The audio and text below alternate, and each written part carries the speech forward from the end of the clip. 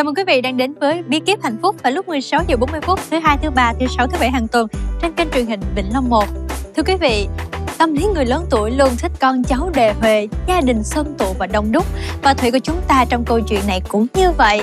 Ngày hôm nay bà Thúy và bà Phụng sẽ cùng nhau lên kế hoạch để giúp cho chị Hảo sớm có em bé và cụ thể kế hoạch của hai bà mẹ trong câu chuyện này sẽ như thế nào. Xin mời quý vị hãy cùng theo dõi câu chuyện ngày hôm nay.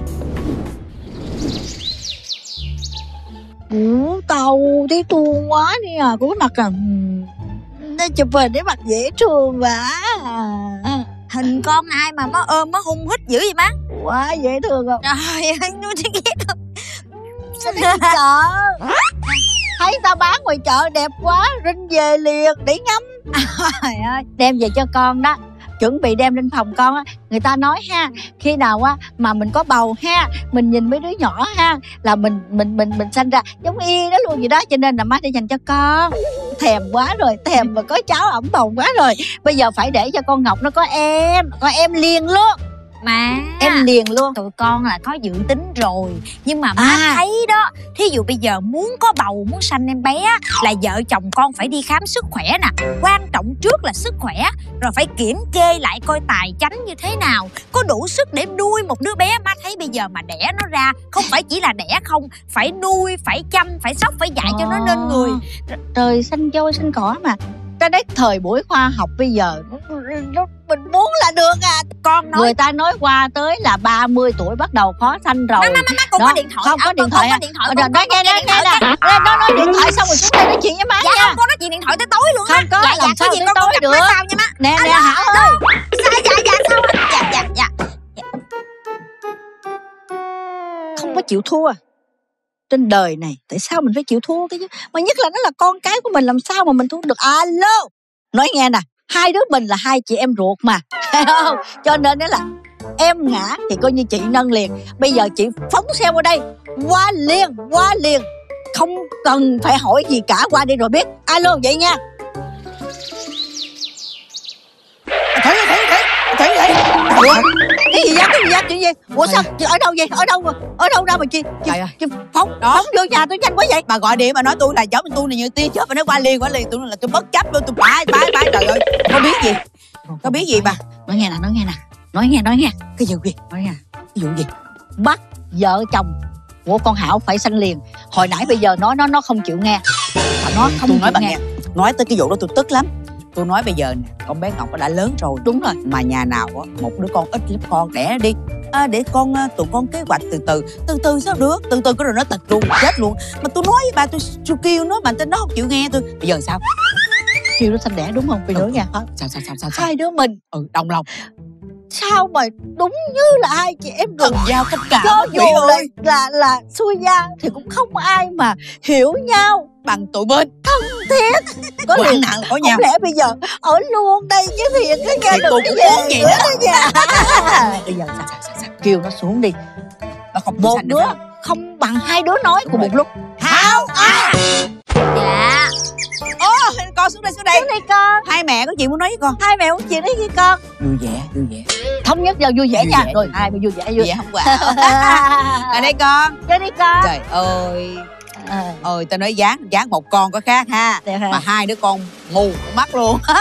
Bây giờ đó bé ngọc nó lớn rồi con. Lớn rồi. Mà đứa ít đứt nhưng mà hai phải hai đứa. Bây giờ mai cũng lớn tuổi rồi. Má thèm à? Má thèm. Thèm một đứa cháu.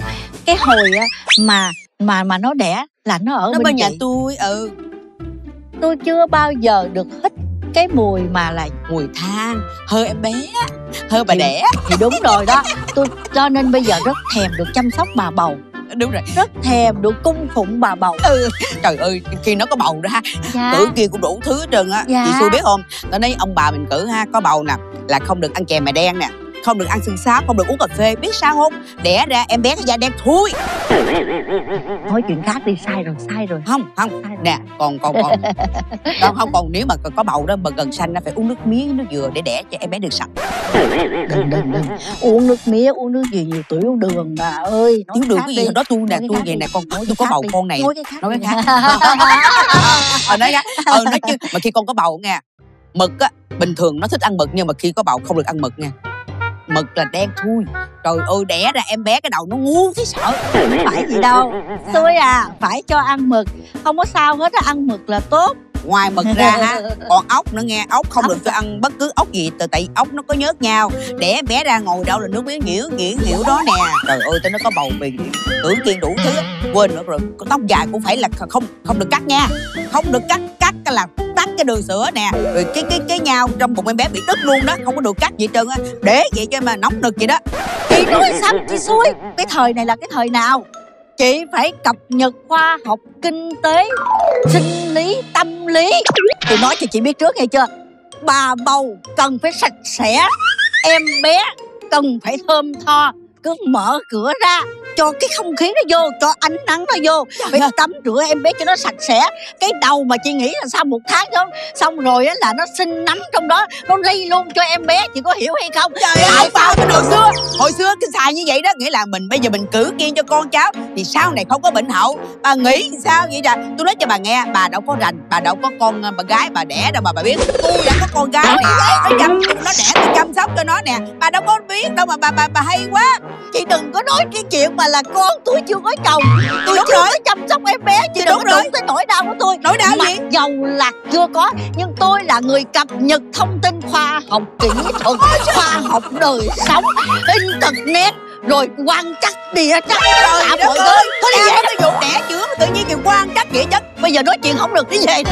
Về đi ra khỏi nhà tôi trời ơi mệt mỏi đây đâu đi tự nhiên mệt mỏi. à. Gọi dừng người ra phóng qua liền dưới tia chớp. Hiểu rồi. hết công chuyện tôi chạy qua đây. Con không? Được. con bà đâu có cái con gái biết đẻ Sao mà mà biết không sóc được? đâu. Bây giờ- bây giờ ơi, nó đẻ sinh học khoa học nhỏ con gái của chị chị qua nhà tôi. Bây giờ nó là con gái của tôi rồi. Bây giờ tôi về ra tôi đóng cửa là tôi không cho bà bà bà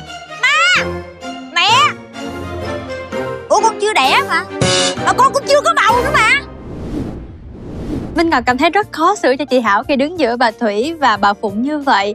Ngày hôm nay chúng ta hãy cùng nhau trò chuyện và chia sẻ về chủ đề dinh dưỡng khi mang thai cùng bác sĩ Nguyễn Trương Minh Thế, giảng viên Đại học Y Dược Thành phố Hồ Chí Minh.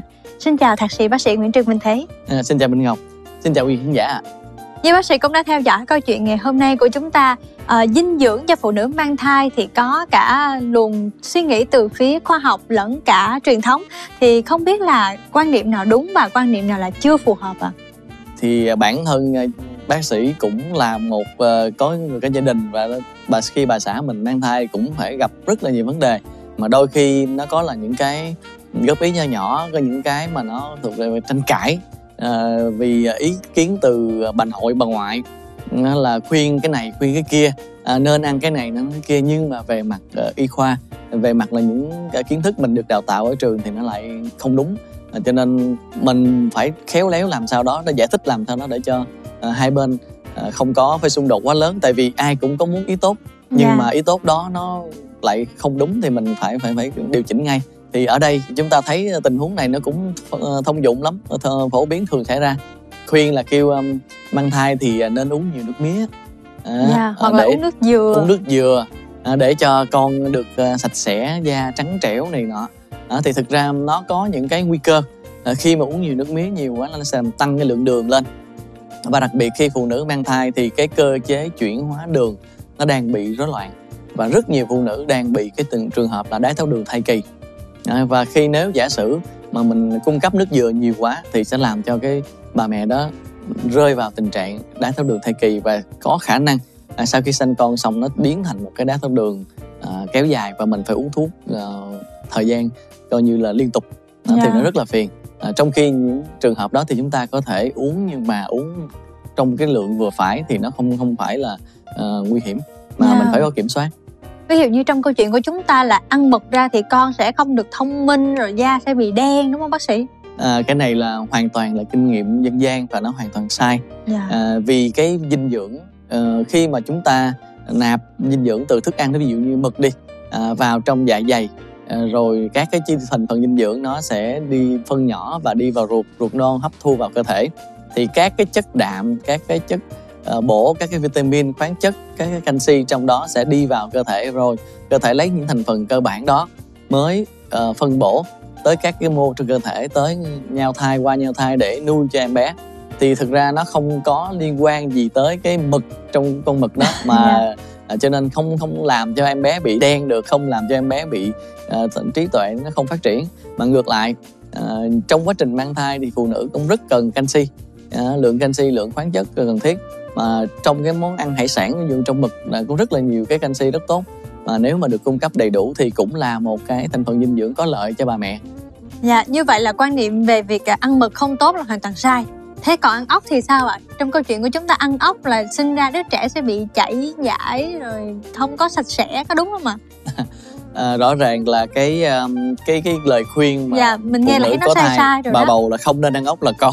Tại vì nếu mà tính ra thành phần dinh dưỡng trong ốc cũng rất tốt cũng có đầy đủ cả các cái vitamin khoáng chất à, lượng canxi cũng cao. À, tuy nhiên ở đây à, ốc thì nó sẽ có một cái nguy cơ là nếu mà bào chế chế biến không có đúng thì nó yeah. Dạ. rất là dễ bị uh, các cái dung sáng các cái ký sinh trùng trên ốc rất nhiều à, cho nên thôi tốt nhất là trong cái giai đoạn mà mang thai mà nhạy cảm thì chúng ta nên hạn chế nếu có thèm thì ăn à, được và lượng ít nhưng mà phải chế biến cho nó cẩn thận vậy thì à, em còn nhớ là trong câu chuyện của chúng ta có quan niệm là về cắt tóc nhưng mà một số quan niệm thì là không nên cắt tóc mà thậm chí là sau khi sinh xong thì phải bao nhiêu tuần bao nhiêu tháng không được gội đầu rồi rất là nhiều quan niệm liên quan đến tóc như vậy làm em cảm thấy hoang mang à, thực ra nếu mà mình à, quan sát kỹ đó thì rõ ràng trong cái thời gian mang thai người mẹ phải gặp rất là nhiều cái khó chịu trong cơ thể cho yeah. Dạ. nên khi mà à, cơ thể nó đang khó chịu ra nhiều mồ hôi bực bội khó chịu ăn không ngon ngủ không được thì nếu mà giả sử vấn đề tóc tai mình nó dài quá nó sẽ làm uh, trầm trọng thêm vấn đề đó làm cho, dạ, mình cho cảm thấy bức bối hơn. bức bối hơn uh, khó ngủ hơn. Thì vẫn có thể hoàn toàn chúng ta làm cho nó gọn gàng lại thì cắt ngắn lại. Chứ còn thực ra quan niệm mà cắt để ảnh hưởng tới em bé thì hoàn toàn không. Còn nữa còn rất là nhiều nếu nhiều mà thực ra mà. kể mà kể là một câu chuyện rất dài ví dụ như uh, khi mà mang thai đó thì hầu như phụ nữ là được ưu tiên số 1 dạ. cho nên là lúc nào có thể ăn đi ăn nhiều vô. Dạ ăn, ăn càng nhiều càng tốt. ăn càng nhiều càng tốt. Đây là ăn cho hai người. Dạ. à, cho nên thì uh, sẽ sẽ nhiều bà mẹ sẽ nghĩ rằng à mình ăn sẽ tốt cho con thôi mà. Nhưng mà em nhớ đến đây á, thì em quan sát thấy là có nhiều người ăn nhiều lắm. Nhưng mà sinh con ra thì ký không có được như ý muốn. Còn nhiều người ăn không nhiều đâu. Nhưng mà sinh con ra thì tròn trịa bụ bẩm em thấy hơi lạ đúng không ạ? Đó cái đó là cái vấn đề nằm ở chỗ đó. À, ví dụ như trong cái ờ, thai kỳ người ta sẽ chia làm ba giai đoạn là ba dạ. tháng đầu 3 tháng giữa và 3 tháng cuối. Dạ. thì trong 3 tháng đầu và 3 tháng giữa đó hầu như cái trọng lượng của thai nhi nó không có lớn lên và trọng lượng thai nhi chưa cần phải tăng trọng lượng trong giai đoạn này. Cho nên chúng ta chỉ cần cung cấp các cái chất cái nguyên liệu cơ bản. Ví dụ giai đoạn đầu 3 tháng đầu thì nên cung cấp nhiều các cái acid folic à, từ cái hải sản từ rau xanh từ à, sữa từ này kia thôi. Và giai đoạn sau thì cung cấp thêm một số liên quan tới canxi để hình thành cái khung xương à, phát triển trí não cho cho bé. Cho nên 6 tháng đầu nếu mà bà mẹ nào mà tập trung dinh dưỡng trong giai đoạn này ăn nhiều giai đoạn này thì, thì chắc vào chắn cho mẹ. là vào mẹ. Và sau đó thì uh, giai đoạn sau thì bé sẽ không tăng cân bao nhiêu mà sanh xong thì mẹ bị quá cân. Uh, nhiều người cứ nghĩ là thôi bây giờ lỡ rồi lỡ sanh con thế nào cũng phá tướng cũng lên cân thôi ăn thoải mái đi rồi yeah. Dạ. giảm cân luôn một thể thì quan niệm cũng sai luôn yeah. Dạ. cho nên phải ăn uống cân đối và biết cái giai đoạn nào cần à, có giai đoạn cuối 3 tháng cuối thì sẽ có cần cung cấp đạm cung cấp dinh dưỡng để cho thai nhi phát triển nhưng cũng không nên quá nhiều tại vì thực sự giai đoạn cuối à, cái cái bụng to lên yeah. là dạ. sẽ chèn ép cái cái dạ dày à, cho nên lúc đó cái vấn đề mà trào ngược nó cũng sẽ là một vấn đề lớn cho nên thực sự ăn nhiều cũng không ăn nổi à, cho nên cũng phải ăn chia làm nhiều bữa nhỏ và cung cấp dinh dưỡng thiết yếu thôi. Dạ, như vậy là mình phải ăn đúng ăn đủ và ăn hợp lý cũng như là đúng lúc nữa phải không ạ? À, đó là cái chế độ ăn nó cân đối nó phải có phải đầy đủ dưỡng chất và nên tha, khám thai và một chuyên gia dinh dưỡng người ta sẽ tư vấn cho mình. Dạ, và khi mà có chuyên gia dinh dưỡng tư vấn thì mình sẽ ăn uống ờ, phù hợp hơn với lại thể trạng của từng người nữa. Xin cảm ơn thạc sĩ bác sĩ Nguyễn Trương Minh Thế. Chúng ta sẽ còn nhiều bí kíp để giữ gìn sức khỏe cũng như hạnh phúc và những số phát sóng tiếp theo của bí kíp hạnh phúc và khung giờ quen thuộc 16 giờ 40 phút thứ hai, thứ ba, thứ sáu, thứ bảy hàng tuần trên kênh truyền hình Vĩnh Long 1 quý vị nhé. Còn bây giờ thì Minh Ngọc và thạc sĩ bác sĩ Nguyễn Trương Minh Thế xin chào và hẹn gặp lại. À, ôi da, ai à, có bệnh gì đâu. Trời ơi nè đó đã tướng khỏe bình thường chỉ nó hơi đi khó khăn chút xíu thôi. Mới uống có hai ba liều thôi ít ra phải uống chừng bốn năm liều trở lên là tự nhiên cơ thể mình nó khỏe ra đó anh nói thiệt em không được bình thường. ôi chưa thấy chưa thấy chưa? Ôi